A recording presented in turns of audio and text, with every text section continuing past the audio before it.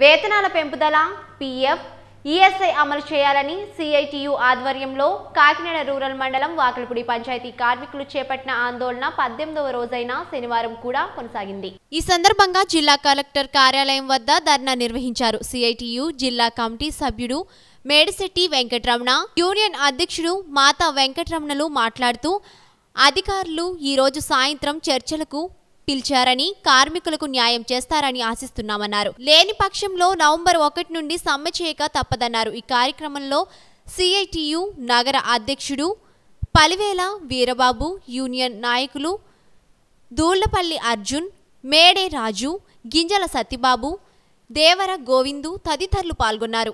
ఈరోజు డిఎల్పిఓ గారు జీవో ప్రకారంగా పిఎఫ్ పిఎస్సి కట్ చేయాలని చెప్పిన పంచాయతీ కార్యదర్శులు నేటికి కూడా పిఎఫ్పిఎస్సి కట్ చేయట్లేదు డిఆర్పిఓ గారు సర్క్యులర్ కూడా పంచాయతీకి ఇచ్చారు. ఎందుకు కట్ చేయలేదు?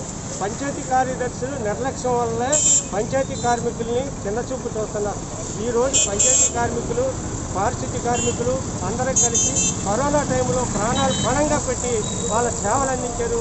ప్రజలకి ఎటువంటి అసౌకర్యం కలగకుండా డ్యూటీలు చేస్తూ నిరసన కార్యక్రమం తెలియజేస్తున్నారు. ఈరోజు కలెక్టర్ తీసుకొచ్చాం. ప్రజాప్రతినిధులు జిల్లా కలెక్టర్ గారు కార్మికులు సమ్మెకు పోకుండా చూసి న్యాయమైన డిమాండ్లు తీర్చాలని గుర్తింపు కార్డులు ఇవ్వాలని పిఎఫ్ పిఎస్సి అమలు చేయాలని ఐదో తారీఖునే జీతాలు ఇవ్వాలని డిమాండ్ చేస్తున్నాం.